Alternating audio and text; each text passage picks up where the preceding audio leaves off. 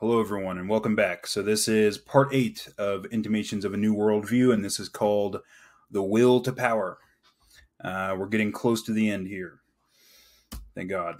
So, um, this is an outline of what part eight is going to be about. So, in the first video, this video of part eight, we are going to talk about the psychology and the cognitive science underlying the will to power. I'm going to make some uh, some claims that I expect will be controversial, uh, which is fine. These are things that I haven't written about yet in detail, but I will be writing about them soon on my Substack.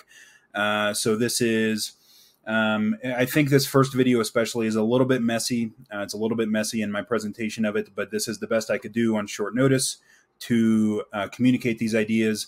Um, I'm going to do the best I can with it, and then I will be writing about it at some point in time on my Substack. I'll be writing about these things and can put it in a more, hopefully, a little bit more organized um, uh, perspective. I don't know. I'll, I'll, I'll, be more organized about it on my Substack. But uh, the second video is going to be about the metaphysics of the will to power. I think that one's a little bit more organized. And then in the third video, we're going to look at we're going to look at how Nietzsche has a particular kind of morality. Uh, I'm going to argue it's the same as the morality that Jordan Peterson had in Maps of Meaning, essentially, although Nietzsche didn't call it morality. But it's it's a process understanding of morality, which is so different, really, from the way that we normally understand morality that Nietzsche would not want to call it morality. But it's a kind of morality because he is making value judgments and he's making objective value judgments based on his ontology of the will to power, his metaphysics of the will to power. We're going to look at how this manifests in the figure of the Overman for Nietzsche, and in the figure of the revolutionary hero for Jordan Peterson and Maps of Meaning. We're going to see that there's a lot of overlap between how Nietzsche talked about the Overman uh, and how Jordan Peterson talked about the revolutionary hero. So uh, let's get into it. So I was originally uh, of the opinion, which is an opinion that I inherited from Jordan Peterson, that Nietzsche had done a good job of formulating the problem of nihilism. Uh, he had announced the problem um, of nihilism. Uh, many people still don't really understand that problem, but but Nietzsche has, of course, had a huge effect on Western culture, and and he did do a good job of of tracing uh, the genealogy of nihilism. And you know, my opinion was that Nietzsche's solution to the problem, which was tied up with his ideas about the will to power and the Overman, wasn't really a viable solution. Um, so Nietzsche called this the revaluation of all values, and it consists of concepts like the will to power and the overman, and these these have been subject to a really a huge number of interpretations, and also, in my opinion, some very clear misinterpretations, and it's all very confusing. Um, that is until I read this 1996 book by John Richardson called Nietzsche's System and that book convinced me. Uh, as soon as I, you know, when I read that book, I was like, okay, uh, it, it, became obvious because uh, Nietzsche did put forward a viable solution to the problem, and it, and it turns out that the solution that, that Nietzsche put forward is essentially the same as the solution that I've been putting forward in this series of videos. Uh, Nietzsche uses a different vocabulary and a different uh, different set of evidence. Of course, he had very different kinds of evidence available to him than I had to me. But the general thrust of his argument, uh, the general thrust of his solution to the problem of nihilism, is the same as the one that I've been putting forward in this series of videos. Um, Nietzsche has often been described as a relativist and this is wrong. I mean, this is this is dead wrong. If you read Nietzsche, there's nothing relativistic about about him, uh, in my humble opinion. Um, my contention, along with some modern interpreters like John Richardson and Tsarina Doyle and Paul Curtis, and we'll talk about all of their work uh, here. Uh, my contention is that Nietzsche's will to power thesis was the basis for making principled and even objective value judgments without the need for a two worlds mythology.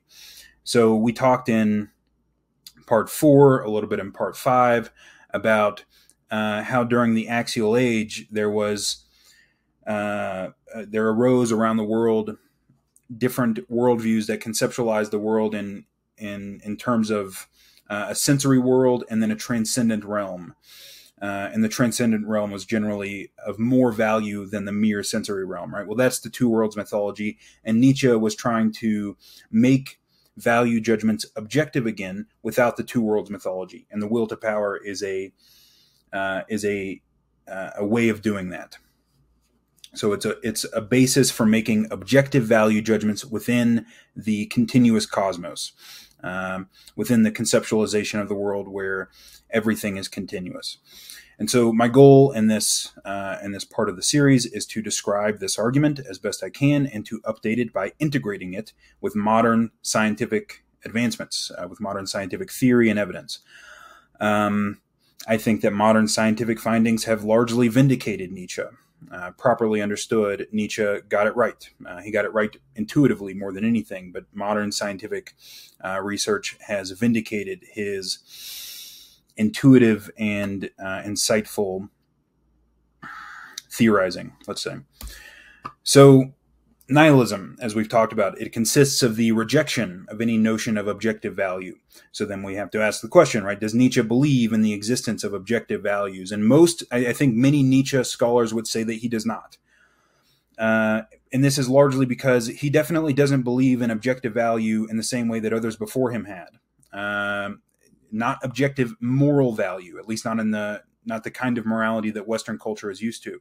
So, unlike the utilitarians, he doesn't believe that pleasure and pain, uh, or whatever other terms you want to use that the utilitarians might use, like well being, uh, he doesn't believe that these things are objectively valuable.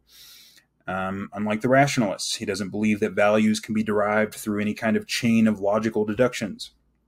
He doesn't believe that values are objective because they conform to the standards of a transcendent God, like the Abrahamic religions, right? So he doesn't believe in objective value in those ways.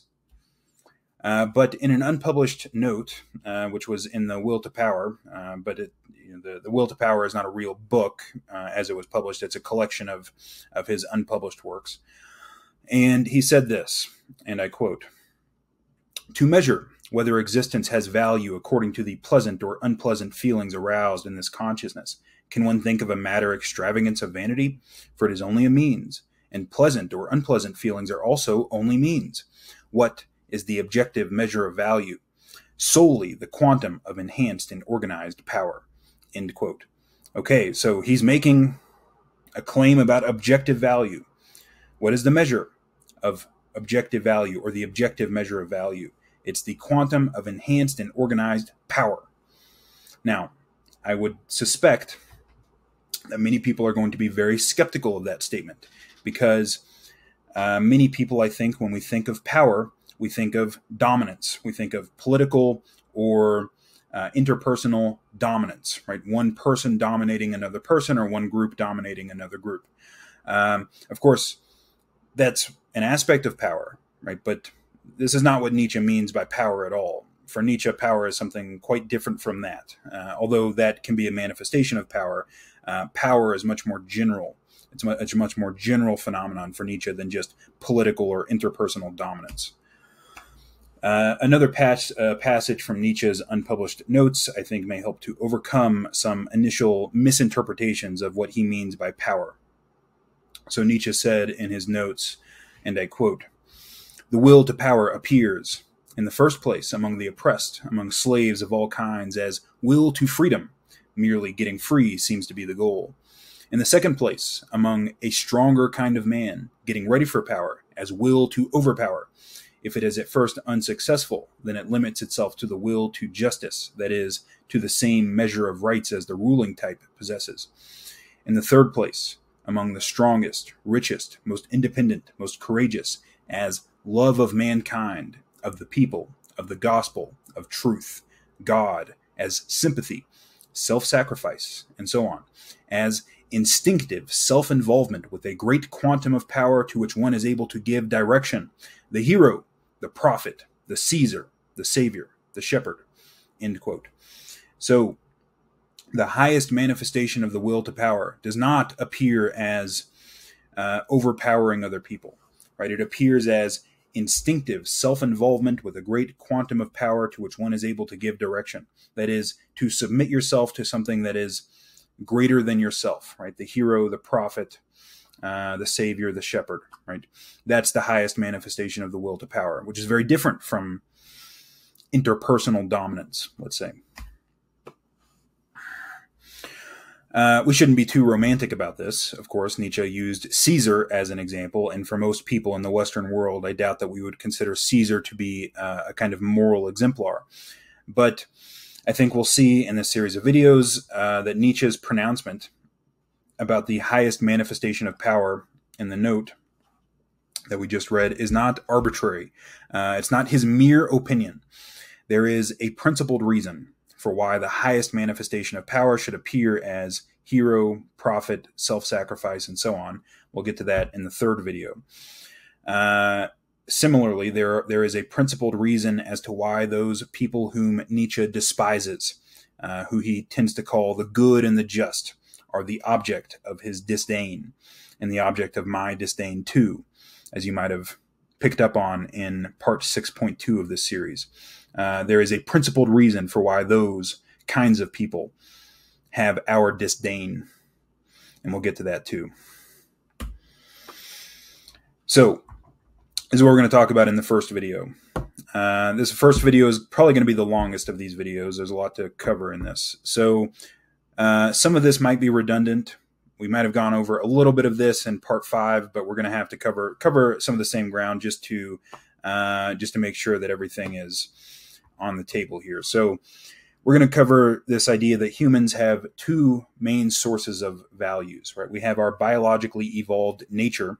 Uh, humans have a nature, uh, which evolutionary psychology studies essentially, and our culturally mediated social norms, right? So we can adopt values from our culture and we can pursue those values uh, very meaningfully. Um, there there can be of course conflict between these sources of value between our evolved nature and our cultural norms uh, and this is equivalent to the conflict between reason and instinct or the conflict between soul and body uh, and all of the other dichotomies associated with the ascetic ideal we're going i'm going to argue that the will to power now, this is going to be a controversial claim, but we'll get there. The will to power manifests in us psychologically as relevance realization, and as what John Vervaeke calls relevance realization. It's a process of complexification. Uh, and that's the same thing, properly understood. It's the same thing as self actualization. At, at least self actualization is what happens when that process goes very well. The will to power. Uh, so that's that's what we're going to cover in the first video. In the second video, we're going to look at uh, the will to power as being a metaphysical thesis. And it's a metaphysical thesis that posits that there is a universal process of complexification, which Nietzsche calls the will to power. Uh, this provides the basis for making objective value judgments, and we'll see why that's the case in the next video. Um, it provides the basis for a process understanding of morality, and we're going to look at that in, in the third video. Um, and we're going to look at that in the context of a discussion of the overlap between Nietzsche's figure of the overman and Jordan Peterson's figure of the revolutionary hero. And I'm going to make the case that these are basically the same figure. They, they're picking up on the same pattern. Um, yeah. So, uh, in this video, we're going to be discussing evolutionary psychology and cultural evolution, uh, the study of cultural evolution as methods for uncovering the origins of our values. Uh, where did our values come from? Why do we have them? Whose interests do they really serve? And all of this is meant to pave the way for what Nietzsche called the revaluation of values, right? Nietzsche's contention and my contention is that it's only by understanding where our values come from, right? We have to have a historical understanding of uh, a genealogy of where our values came from if we're going to judge them properly. We need to understand the evolutionary origins of them and the cultural, historical origins of them. And then, of course, we're going to have idiosyncratic values based on our own personal experiences. Uh, Nietzsche, in the genealogy of morals, asked the question Under what conditions did man invent for himself those judgments of values, good and evil? And what intrinsic value do they possess in themselves? Have they up to the present hindered or advanced human well being? He goes on to say, We need a critique of moral values. For once, the value of these values is itself to be put in question. And for this, we need a knowledge of the conditions and, and circumstances out of which they have grown, under which they have developed and shifted. And that is what Nietzsche attempted to do in the genealogy of morals. And I think that Nietzsche made some mistakes in that book, uh, some mistakes that are totally understandable in light of the time he was writing. But despite those mistakes, I think he uh, I think he got it pretty well right, uh, pretty close to correct. Uh, we're going to see how closely Nietzsche's genealogy is to a modern scientific understanding of where values come from uh, through the fields of evolutionary psychology, evolutionary and developmental psychology, and cultural evolution. So, um, we need to reconcile Nietzsche with evolutionary psychology. We've done this a little bit, we've talked about this a little bit, but we're going to go into it in a little bit more detail here. Um, in order to do that, he must be reconciled with Darwinism more generally. This poses a kind of problem because Nietzsche often, he didn't, I wouldn't say often, but Nietzsche did criticize Darwin. And generally speaking, Nietzsche's criticisms of Darwin were pretty off point. Uh, John Richardson says in his book Nietzsche's New Darwinism that Nietzsche made a jumble of mistakes about Darwin and mistakes about biology. Uh, Nietzsche attributes views to Darwin that Darwin did not actually hold, uh, such as the idea that fitness is is related to physical strength. Um, Richardson argues, and I think that Richardson is correct, that these disagreements and mistakes are basically peripheral. Um, and in fact, the, the stuff that Nietzsche was criticizing Darwin for was stuff that Darwin didn't actually believe. But Nietzsche believed correctly in the real evolutionary process. He just he just misunderstood Darwin. Like Darwin got it right, but Nietzsche got it right too. But he misunderstood Darwin and thought that Darwin got it wrong. Right? That's basically what happened. Uh, Richardson argues, and I agree, that Nietzsche is deeply Darwinian, uh, and that this Darwinism pervades his entire philosophy. And so, uh, what we're going to do here is look at Nietzsche's drive psychology. What's what Richardson calls his drive psychology. So Nietzsche believes uh, that the structure of the mind is not unitary at all, that it's made up of many different drives. Well, evolutionary psychologists, as we've talked about, believe that the mind is made up of many different psychological adaptations. Um, so we're going to compare Nietzsche's drive psychology here to the basic structure of the mind according to evolutionary psychology. So uh, one of the things that's important to understand about evolutionary psychology, uh, something that's often misunderstood, is that evolutionary psychologists do not believe that human beings or any other animal directly pursues fitness or inclusive fitness. Uh, so we discussed and we defined inclusive fitness in part five. I'm not going to go over that here uh, again. Um, two of the founders of evolutionary psychology, John Tooby and Leda Cosmides, made the important point in their early work uh, that inclusive fitness is the criteria by which adaptations are selected, but it cannot be the actual goal of the adaptations themselves. As Cosmides and Tooby have argued, and correctly in my opinion, it is it is just impossible to strive for maximizing fitness in a domain general way, right? So organisms cannot explicitly aim at increasing their fitness. That's not how it works. Uh, this would require a, a, kind of unbounded rationality. It would require them to be essentially omniscient, right? Well, of course, they're not omniscient. They have a particular uh, perspective, and that limits what they can do. You cannot aim at fitness directly, so they do something else, right? They uh, they execute adaptations. So evolution results in relatively domain specific psychological ad- adaptations that, statistically speaking, increased inclusive fitness relative to the alternatives for our ancestors. Uh, so, to drive the point home here, we do not maximize fitness, but rather what we do is execute adaptations. These adaptations, uh, we, we, develop these adaptations, we reliably develop them because they increased the, includes, the inclusive fitness of our ancestors. As an example, we have a sex drive, right? That's a psychological adaptation, and it clearly promotes reproductive success. Uh, I use this example in, in particular because it, it makes the point most clear, I think. Um, the desire to have sex clearly increases your reproductive success, but it doesn't aim at reproductive success. And we know this because men who have vasectomies still want to have sex, right? And people still want to have sex with condoms and so on. Um, so that's a psychological adaptation that we have because it increased the inclusive fitness of our ancestors, but it doesn't directly aim at fitness, right? It has its own aim, um, and so you know this this means that um, we'll cut that out. So the fact that adaptations only work on a probabilistic basis, uh, which means that they can misfire in many situations, and that they were built based on past selection pressures, meaning that they can be mismatched to current realities, are important insights of evolutionary psychology. They were also insights that Nietzsche had.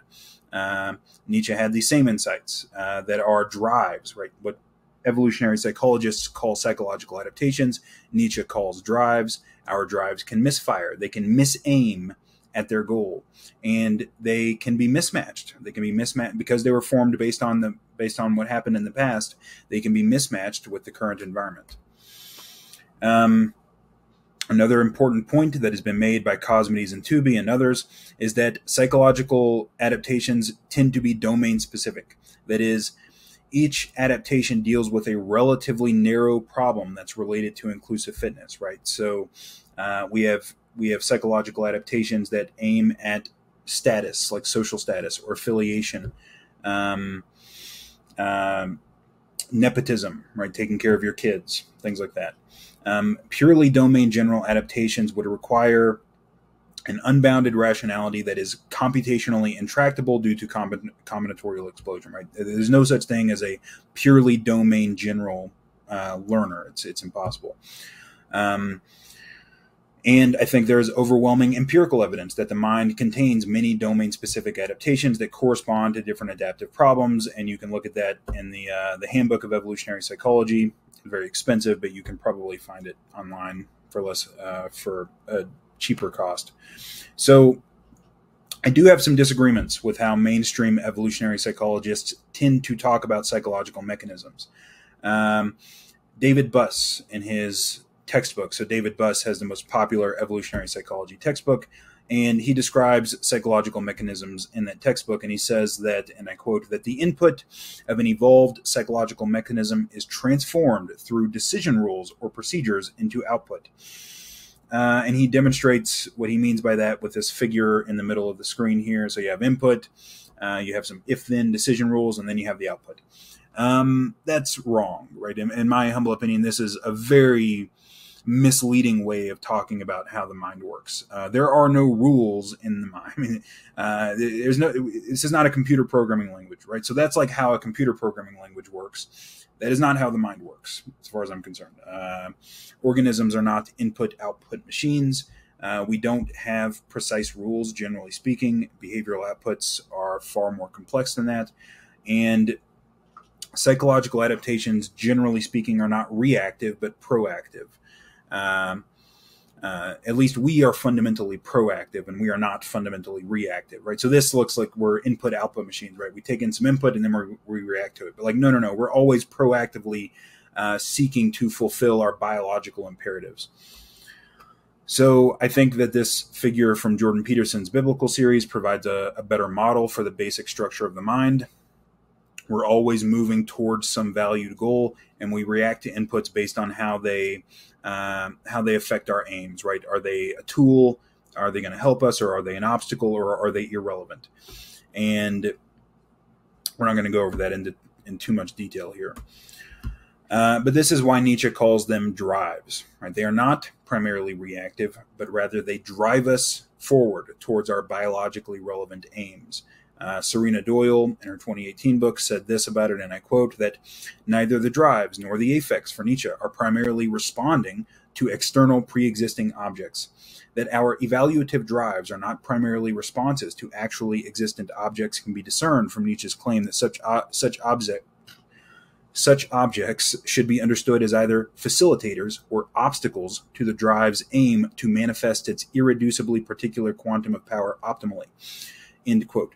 So every drive, uh, you know, we have a drive to eat. We, we, we want food. Okay. That drive aims to manifest its particular quantum of power optimally. The drive to eat can take over somebody's psyche, right? You see if somebody weighs 500 pounds, like that drive has dominated their psyche. Uh, every drive wants to dominate. Right? This is Nietzsche's insight. Uh, it's also a, a, psychoanalytic insight, right? All of these drives, they want to dominate you. And um, they want to dominate the psyche, let's say, uh, and and that can happen with with the drive for food. It can happen with the drive for social status. It can happen with the drive for sex. It can happen with the drive for affiliation. Um, these are generally forms of psychopathology, but yeah, yeah. So anyway, so that's uh, so drives respond to the environment in terms of facilitators or obstacles, right? Tools are obstacles. Uh, that's what things manifest themselves to us as. So uh, we've already talked about talked about Kenrick and colleagues' uh, motivational domains. I'm not going to go over them again here, um, but these are just some categories that drives can fall under, or psychological adaptations can fall under. Right: self protection, disease avoidance, affiliation, status seeking, mate acquisition, mate retention, caring for family. And of course, they left self actualization off the list erroneously, but we talked about that in part seven. So, uh, John Richardson um, makes the point that drives for Nietzsche, these drives are the way they are because of the selective uh, advantages that they gave the organism's ancestors. Uh, Richardson says about this, and I quote, that for Nietzsche, the crucial further point is supplied by Darwin. Due to natural selection, these dispositions were one and all designed and fixed in the organism's ancestral line due to some ways that they served the, pre- the preservation or growth of its kind. A drive is crucially the sign, then, of the selective advantages it served at the times it was formed and modified. End quote. And evolutionary psychologists have made the same point about psychological adaptations, right? Drives, uh, for Nietzsche, the what Nietzsche called drives are, are, I think, very obviously equivalent to what evolutionary psychologists call psychological adaptations. Uh, they are the way they are because of past selection pressures rather than current current ones, and that means that there can be mismatches. Um, so I'll tend to use the word drives in this video, uh, but I may use them interchangeably. So Nietzsche had the same insight that the evolutionary psychologists did, which is that drives do not aim at maximizing fitness or anything like fitness, right? They flexibly seek to achieve proximate goals that would have been correlated with fitness in the past. Um, John Richardson says about this, and I quote that a drive is a behavioral disposition that is plastic towards its distinguishing outcome. The drive is sensitive and responsive to conditions insofar as they help or hinder its pursuit of that outcome. By, con- by contrast, the drive is not thus responsive to the imposed end of reproductive success. The eat drive, for example, does not adjust its eating in the light of what, in particular conditions, serves that success. So a drive's ultimate aim is inclusive fitness, which, which is reproductive success, but it achieves that ultimate aim. It cannot achieve that ultimate aim directly. It has to achieve it indirectly through a different but related proximate aim eating, sex, nepotism, disease avoidance, and so on. Uh, neither the ultimate or the proximate aim needs to be consciously available to the organism. Drives can work even in the absence of consciousness. So, apart from these naturally selected drives, Nietzsche recognized that there was a second source of human values in cultural evolution. Uh, Richardson, John Richardson, in, in, his 2004 book, calls this social selection, but it's the same thing as cultural evolution. So, in the first video of the series, we talked about the cultural ratcheting process and why it is that this cultural ratcheting process gives us some good reasons to incorporate tradition into our practices and into our worldviews. Uh, you may recall from the first video that this cultural ratcheting process involves the human capacity for imitation on the one hand and innovation on the other, right? These are the two aspects of this process. We have to imitate what came before, and occasionally we have to innovate. Um, going to read something that John Richardson wrote in his 2020 book, Nietzsche's Values, which I think uh, nicely describes this ratcheting process in Nietzsche's writing. So, uh, Richardson said, and I quote, that cultural practices are founded, on the one hand, by humans' powerful ability and will to share, to have the same values others do. That's imitation. But human humans also have the capacity, in moments of crisis especially, to remake these practices by revising the norms that guide them. So, humans' remarkable development depends on a general and usual will to copy, but also on members who periodically innovate and change the content copied. End quote. And so he's picking up on uh, Nietzsche is picking up on this same pattern, right? We have to copy or imitate what came before, but occasionally somebody has to come along and innovate because the world changes around you. And so, uh, according to Nietzsche, our cultural norms evolve over time because we imitate them on the one hand. Uh, during stable periods, especially, we imitate, but we occasionally have to remake them or Im- innovate them, especially during times of crisis or preceding a crisis. Uh, so here we're going to focus on another important aspect of cultural evolution, which is our norm psychology. Uh, we talked about this a little bit in part five, but I have to go uh, go over some things again. So uh, Chudek and Henrich in a 2011 paper defined the norm psychology as, and I quote, a suite of psychological adaptations for inferring, encoding in memory, adhering to, enforcing, and redressing violations of the shared behavioral standards of one's community. And this is our drive for conformity and for enforcing conformity among the people around us. This is necessary to do what we do as humans, right? It's necessary uh, to conform and to enforce conformity for the cultural evolution process to take place. Um, Chudek and Henrich argue that a history of punishment for norm violations led to the evolution of, of norm internalization. We internalize social norms. Uh, and this includes morality. And this we internalize this essentially as a means of avoiding punishment.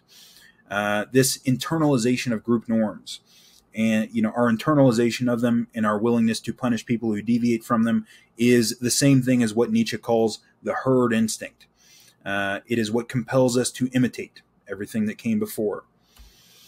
So Nietzsche describes the herd instinct as such. This is in the Gay Science, and I quote He said that the reproach of conscience is, even in the most conscientious, weak against the feeling that this and that is against the, the good custom of your society. A cold look, a wry mouth on the part of those among whom and for one uh, whom one was raised is still feared by even the strongest. What is really feared here? Isolation as the argument that refutes even the best arguments for a person or cause. So speaks the herd instinct out of us. The herd instinct is the fear of isolation, fundamentally. Um, it is what causes us to to to put ourselves into groups and to form values that it, that allow us to adhere together as groups. Um, those who flout social norms have very often been ostracized or otherwise punished throughout human evolutionary history. And social isolation is, of course, a death sentence for the hypersocial creatures that we are. Uh, even if it's not a, an actual death sentence, it's an evolutionary dead end because you're not going to reproduce if you are socially isolated. Uh, so this has instilled within human beings a strong drive towards conformity and towards adopting and internalizing the particular norms of our uh, of our community. That's the herd instinct. So with you know we so we have this norm psychology in place uh, and now we can ask the question so over long periods of time what is going to determine the content of our social norms? And i would suggest that the major contributor here is what is called cultural group selection. Uh, groups that have more functional norms functional in the sense that they promote the group's ability to outcompete other groups are going to survive and spread. They're going to attract migrants who will adopt their culture's norms, presumably, and their norms will end up being copied by neighboring groups who want to be like the group who is uh, so powerful. And so, in that way, functional norms will tend to proliferate over time.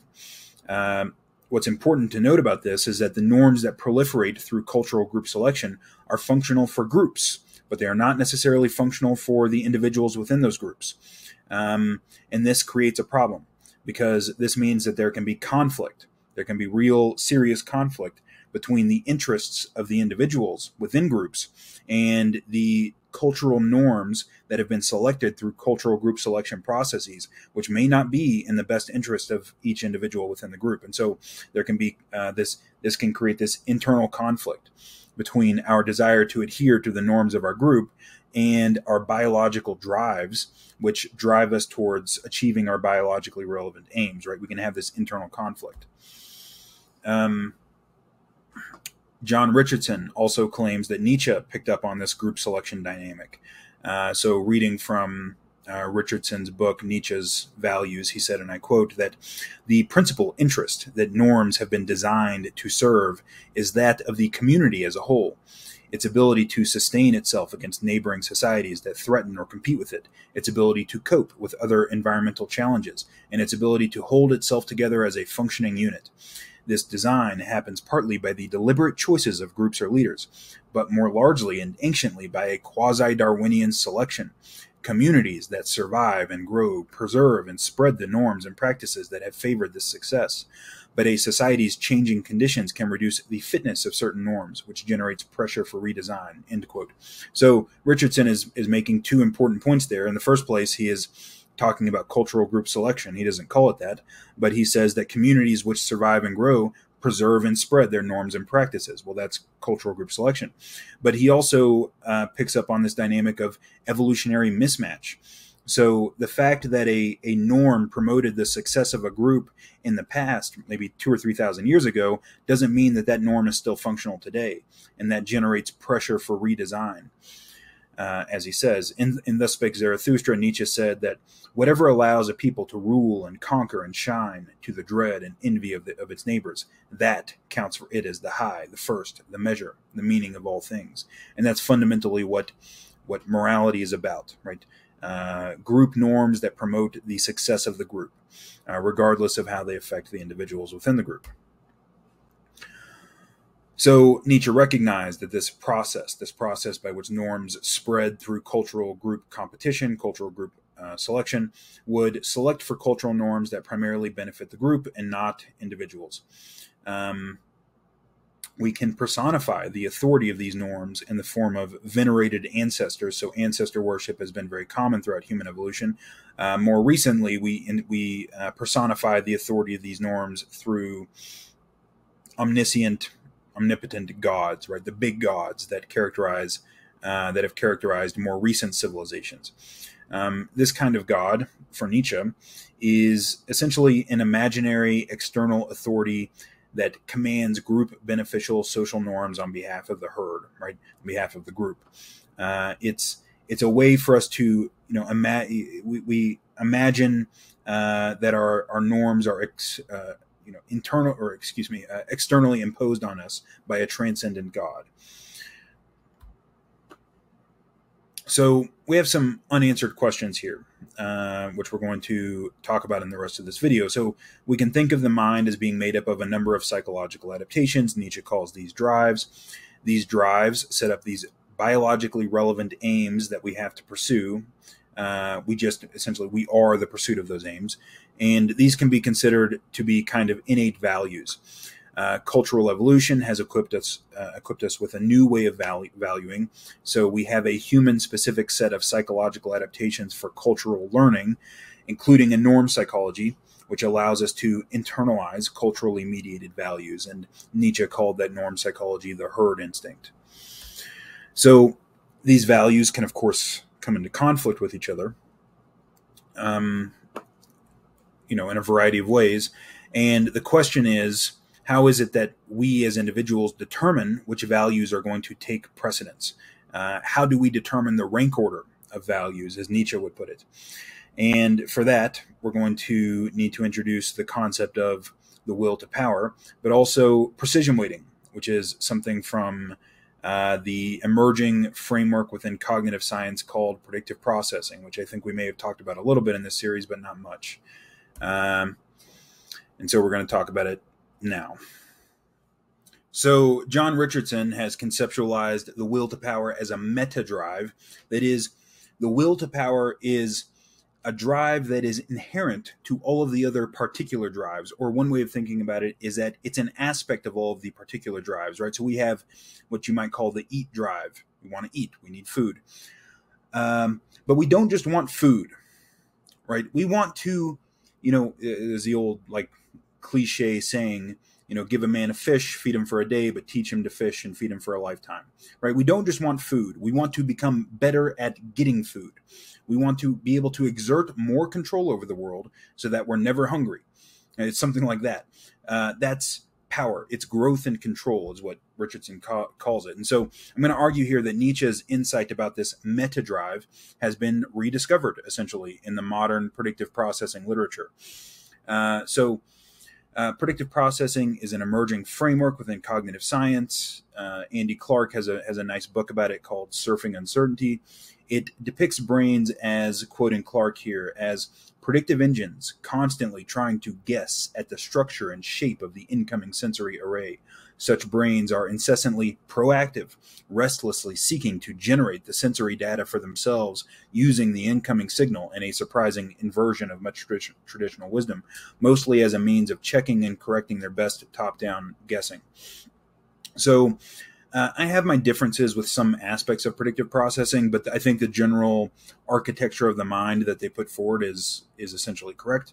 Uh, the hierarchical Bayesian architecture of the mind that is posited by the predictive processing framework provides us, I will su- suggest, with some powerful conceptual tools for understanding how the mind works.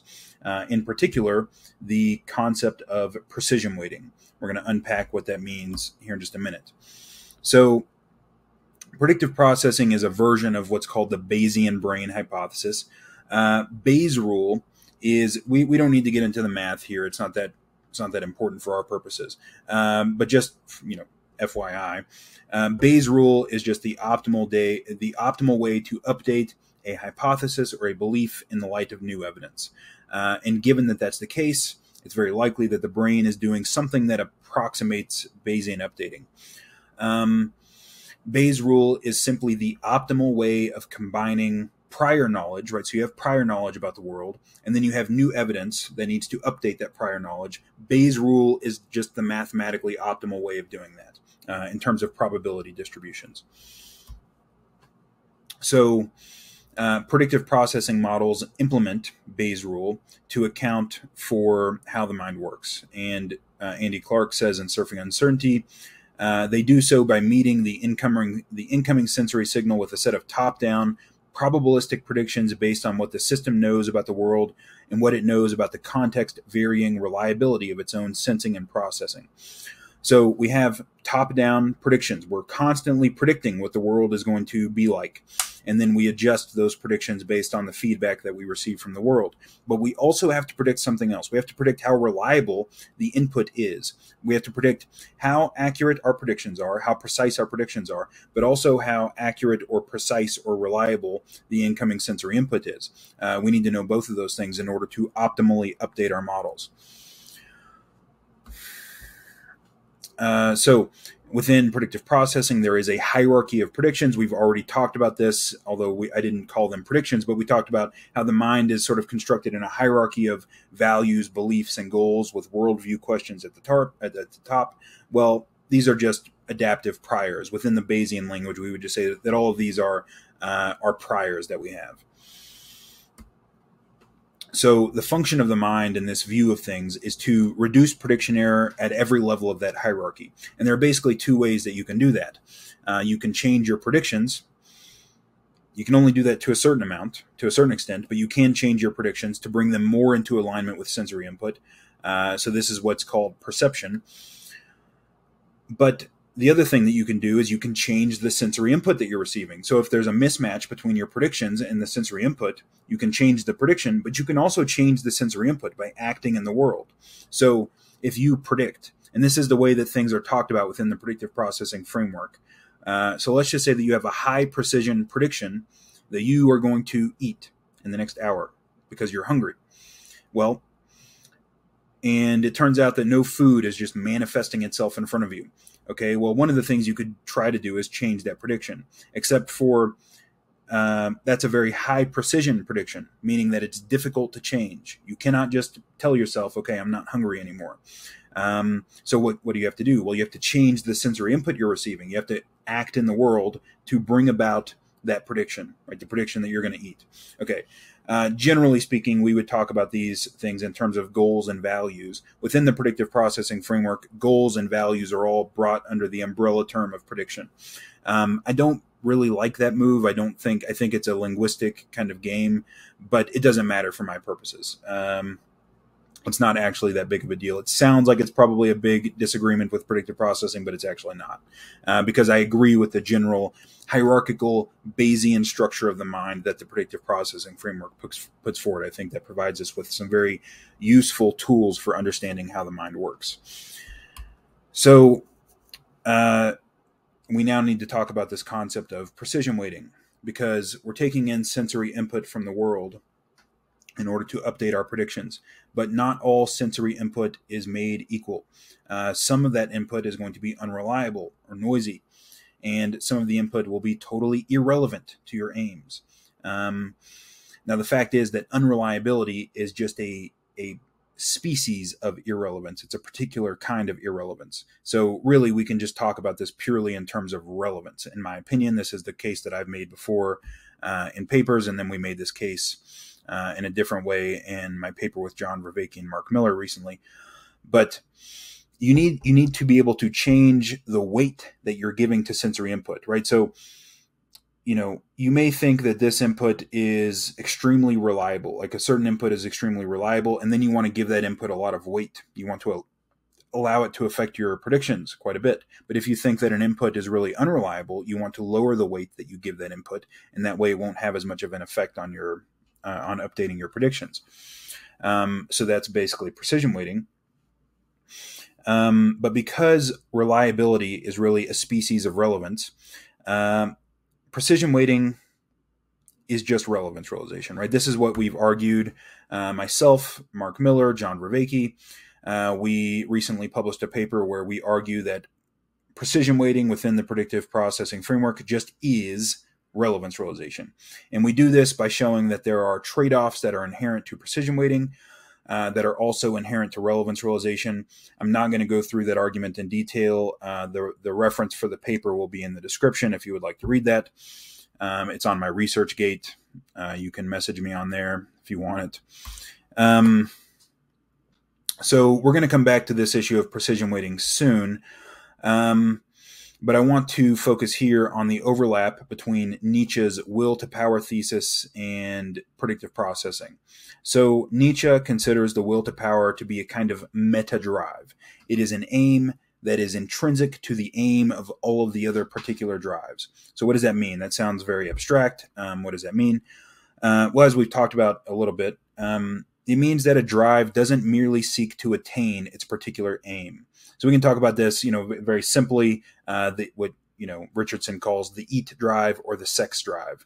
Uh, they don't just seek. You don't just seek to get food, and you don't just seek to have sex, right? You aim to get better at attaining those things. And it's something like that. Um, you want to increase what Richardson calls your growth and control over the world, so that you can become continually better at attaining your biologically relevant aims. So we're not merely driven for food or status or sex, right? We are driven to continually grow in our capacity to attain those things. And that growth and capacity, that growth and control is power. And so inherent to each of those particular aims, right, is not just the drive to achieve that aim. It's the drive to get better at achieving that aim over time, to exert more control over the world so that aim can, can be continually achieved over time. Uh, and that's power. And so the will to power is like the will to grow and your capacity to exert control over the world, uh, to achieve these inherent aims that are that are inherent to the the drives that are instilled in us through evolution. Now, I think the same insight has occurred within the predictive processing literature.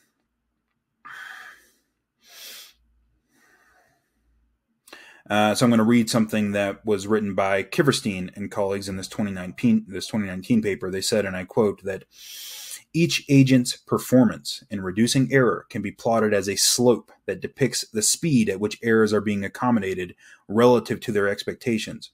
The steepness of the slope indicates that error is being reduced over a shorter period of time and so faster than the agent expected. The steeper the slope, the faster the rate of reduction.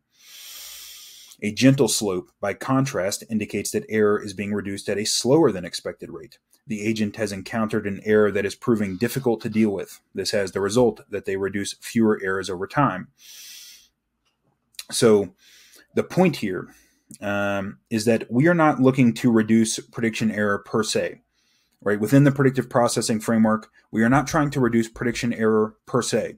What we are trying to do is to continually increase the rate at which we are reducing prediction error. And that's different, right? That's different. It's not just reducing prediction error, it's continually increasing the rate at which we reduce prediction error, which is an, a continual e- increase in our capacity to exert control over the world around us, right? It's something like that. Um, so, um, and colleagues in that same paper uh, say, and I quote, "How is precision?" Uh, you'll have to you'll have to forgive me. Uh, I'm stumbling all over my words today, um, and there's not much I can do about that. I'll try to edit it a little bit, but I have to keep going because uh, it's got to be done. But this has just not been a good day for uh, my ability to articulate myself, apparently. So Kiverstein and colleagues say, and I quote. How is precision weighted in active inference? The agent doesn't simply act so as to improve grip. It is a part of their acting skillfully that they can do so with sensitivity to how well or badly they are doing. Agents that make use of feelings that arise from rates of change can continuously do better at improving their grip on what is relevant in the landscape of affordance by exploring and seeking out novelty. They can aim to better engage with error and attune to the unexpected so as to broaden their skills and grip in more and more domains of their ecological niche. That's all very abstract. Uh, the point here is just that we can we can use uh, our affective valence, right, to whether things are pleasurable or painful or whatever, uh, to track our power in the world, right? It's something like that. Uh, our, our capacity for exerting control over the world to achieve our biologically relevant aims uh, in a way that is continually improving over time. Uh, and in The Will to Power, in one of his unpublished notes, uh, Nietzsche, Nietzsche uh, said that pleasant and unpleasant feelings are only means, right? They're not ends, they are only means. Uh, they are means to track our capacity to exert control over the world, right? Our, our capacity for power. Um, and it, you know, again, we have to be clear. When I say exert control over the world, I am not talking about dominance, right? You can exert control over the world by persuading people, by and you know one of the one of the things that we do as human beings is the discovery and facilitation of non-zero sum games, right? And so that is a way to get the things that you need out of the world while also providing a benefit to other people. Um, which is better because then other people won't try to kill you, hopefully. Um, yeah, sometimes they do. But uh, so pleasure and pain are, are guideposts to the end. And the end is power, but that power comes about through complexification, as we're going to talk about here in a minute. Uh, so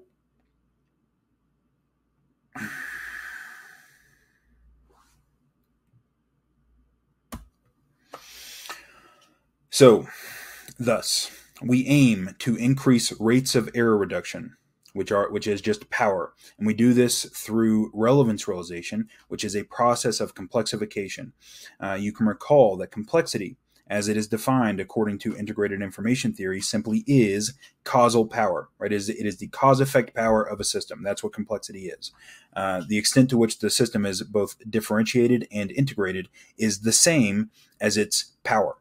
Um, so, as we discussed earlier in the series, relevance realization entails a process of complexification. That is, it, entails a process of becoming more differentiated and more integrated over time, which means that it is a process of becoming more cognitively powerful over time. Uh, and so we can ask the question then, you know, given that I'm saying that the will to power um, as it manifests in us just is relevant realization, right? That's the claim that I'm making, which is, of course, ought to be considered a kind of controversial claim. But it's just because the will to power is a process of complexification uh, by which we we become able to to better achieve our biologically relevant aims in an integrated way over time. And I, I would argue that relevance realization is the same thing but we need to ask the question then can we find this process of complexification in Nietzsche's discussions of the will to power? We can in multiple places. I'm only going to talk about one here. Um, I'm going to talk about the dialectic between the master type, the slave type, and the overman. Uh, I'm going to talk about that one simply because it's going to be relevant to, to our discussions later on. But Nietzsche has discussions of other dialectics like this in his writing as well. So, John Richardson does a really good job, I think, of describing this dialectic in his book, Nietzsche's System. Um, why my screen is messing up here. So, uh, he, so we're, we're first going to talk about the master type um, so basically, the, the dialectic between master and slave is a dialectic between order and chaos. The master type is kind of uh, characterized by too much order, and the slave type is characterized by too much chaos. We'll look at what Richardson has to say about this. The, so, the groups that characterize the master type and the individuals who characterize the, the master type are distinguished by their, uh, their by their wholeness or their unity, but they are also distinguished by their simplicity so, as Richardson says, they are formed from relatively few drives, but those drives are well synthesized.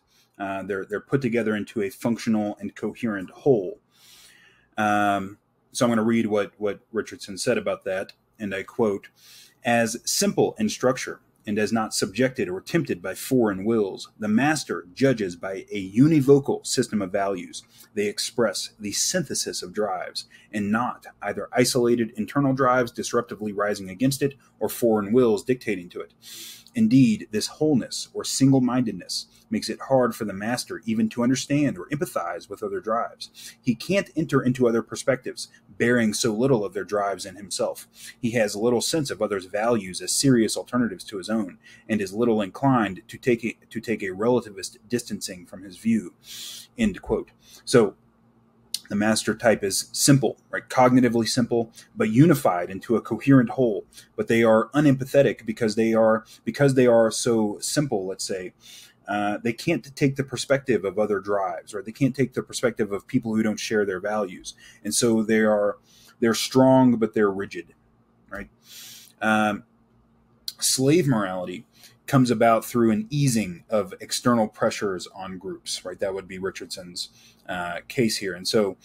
Um, um, or slave slave morality results, anyways, in, a, in an easing of this pressure. So uh, Richardson says, and I quote: in this ease, society unfolds into a richness of persons and practices aiming in diverse ways, hard to marshal together.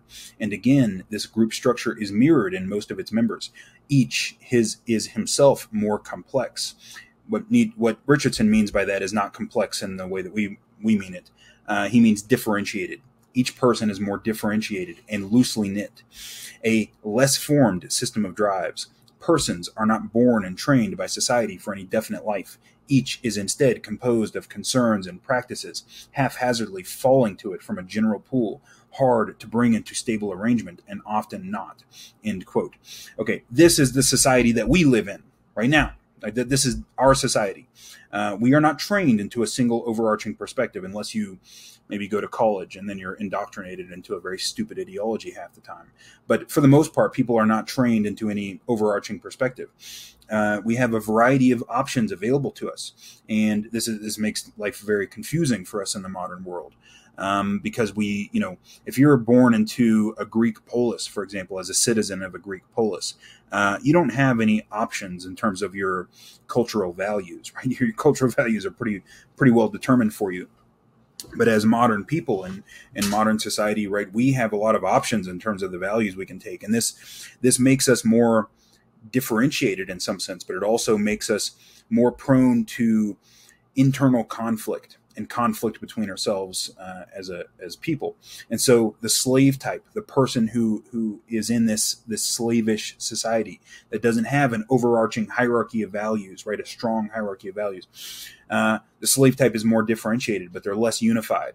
So they're more flexible, they're more empathetic because they're capable of taking the perspective of other viewpoints and drives, but they're also chaotic and more impulsive and more weak willed than the master type.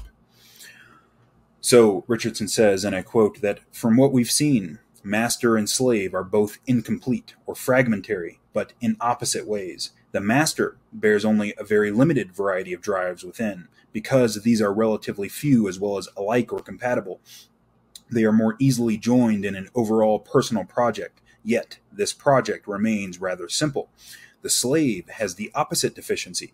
His drives are many and conflicting, but, or therefore, not well synthesized into a cohesive whole. He is thus more differentiated and encompassing than the master, but only as a collection of parts and not as an integrated person.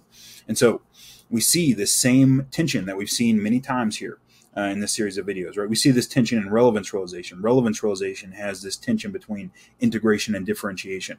We also see it in this uh, process, this dialectical process between the master and the slave. The, the master is integrated but not differentiated, and the slave is differentiated but it's not integrated. And so these are in tension with each other. They're in an opponent processing relationship. Uh, this is a meme that I made. It's, I don't know, it's not a good meme, but it's a meme uh, the master type is the Chad, right?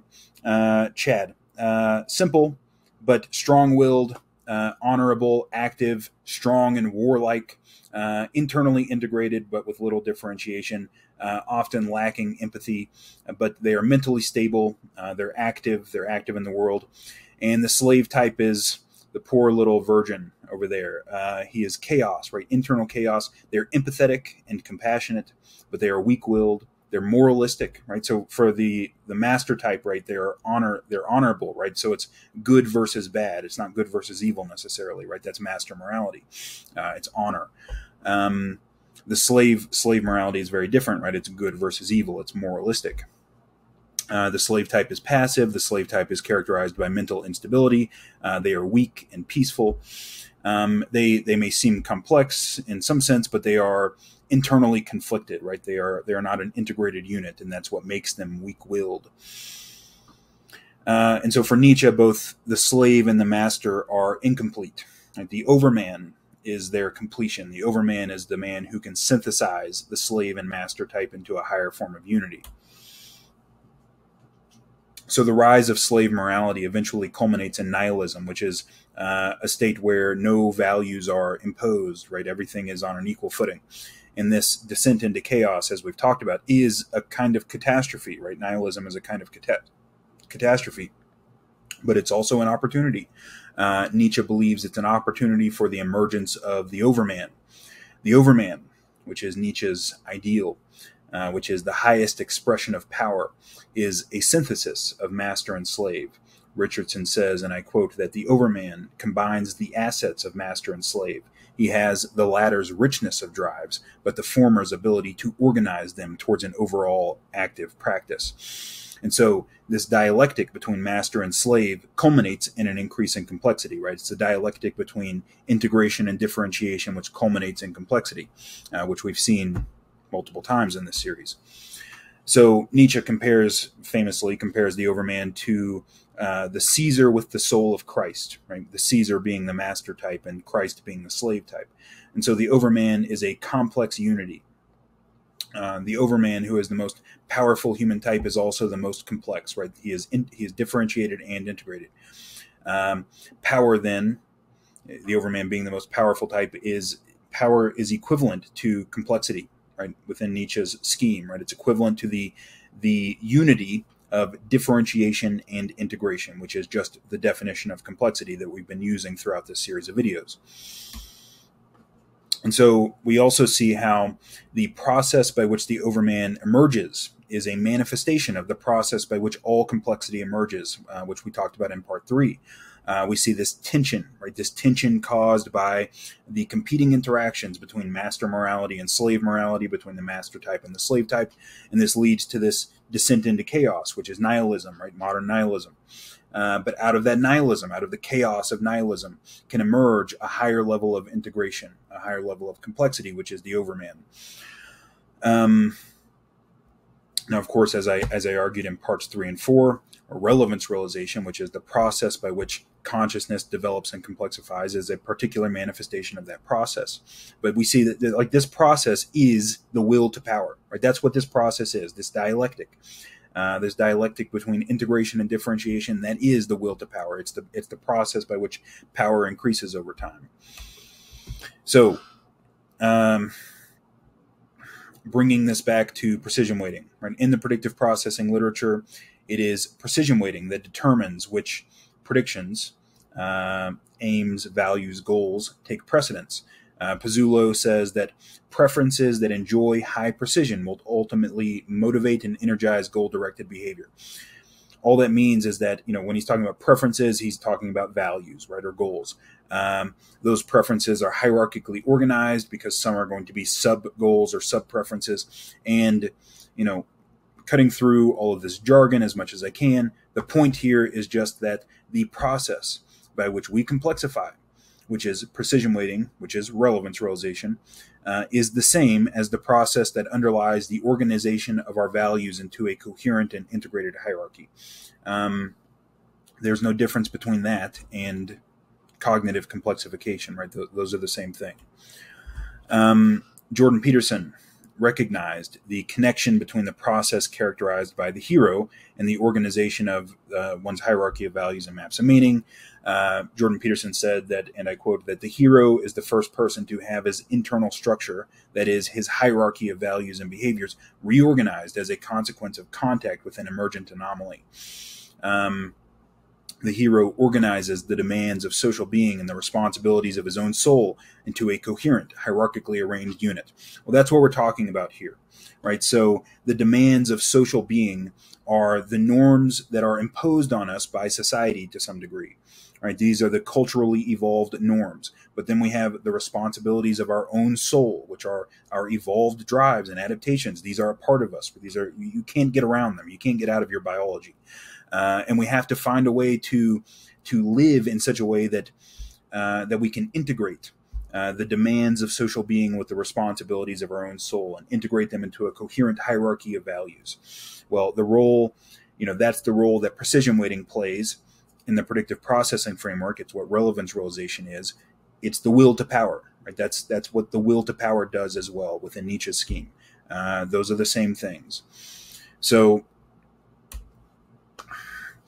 um, I want to end just by driving the point home here. So we've talked about this. You know, is power dominance and coercion? Uh, Nietzsche sometimes talks about power in those terms because those are obviously manifestations of exerting control over over the world. Um, but these are not, for Nietzsche, the most um, optimal ways of increasing power. Uh, Tsarina Doyle, in her book Nietzsche's Metaphysics of the Will to Power, which we'll talk about more in the next video, makes clear I think her analysis is correct that cooperation and mutualism are necessary for the greatest manifestations of power. So I'm going to read some things she said about this, and I quote The capacity of a drive to overcome internal resistance and dominate the bundle of drives that constitutes the self for Nietzsche acts as a measure of the normativity of a value. However, a self that rules through cooperation, in Nietzsche's view, is more powerful than one that rules through acts of extirpation or destruction. End quote. Okay, so, you know, we have different strategies we can take in trying to organize ourselves into a coherent hierarchy of values, right? So, one of the things that you can do is repress. People do this most often with uh, sexuality, right? This is, is, something that happens a lot because that's it's a powerful drive and it causes people all sorts of all sorts of problems, and so they just cut it off, right? They repress it. Well, that's one thing, that's one strategy that you can take. Um, but this is not going to result in the most powerful person. Right? The most powerful, the most powerful person is able to bring all of their drives into the fold, right? Into their, into a coherent hierarchy where all of the drives are having, you know, they're they're they're all being uh, they're, they're getting their way to some degree or another they're participating in an overall project by which they are benefiting as well well what is that well, that that's a non-zero sum game, right? Like that's what a non-zero sum game is. And so we are trying to discover a non-zero sum game for us to play as an individual that will that will benefit all of the different drives that constitute us, right? Because we are not a unity, at least, you know, not initially. We, we can become more unified over time, but we are made up of many different parts, and those parts have values in and of themselves, right? They want things. And you have to find a way to live so that those biologically instantiated values are all sort of getting their say in your psyche. And if you don't, uh, if you don't do that, then it, it causes psychological problems, let's say. I mean, one thing you can do is repress, but you know, like this, this will have long-term consequences. Um, Tsarina Doyle goes on to say, and I quote, that I take Nietzsche to mean that compliance on the part of an obedient will or disposition does not entail a relinquishing of its intrinsic dispositional nature, but rather a realization of it. It is compliant or obedient, then, only to the extent that there is a certain mutuality be- between the commanding and obedient will. This is what I'm talking about, right? Um, there has to be internal peace. Like you have to make peace with yourself internally, right? This is, you know, incorporating the shadow, all of this stuff, right? It's all about uh, uh, finding a way of being in the world where all the different parts of you can can get what they need out of life, right? Because you know, and, and you personify them because that's what they are. They're like little personalities within you. You know, there's that Snickers commercial. You're not you when you're hungry. Well, you're not you when you're hungry and you're not you when you're a lot of other things too. You know, when when a when a certain drive takes over, it's like a little personality that's taking over. Well, those personalities right within you, right, the hunger and, and all of that stuff, uh, they have things that they want. Right? They, that's one way of thinking about it, and you have to find a way of living that gives each of these drives what they want in one way or another.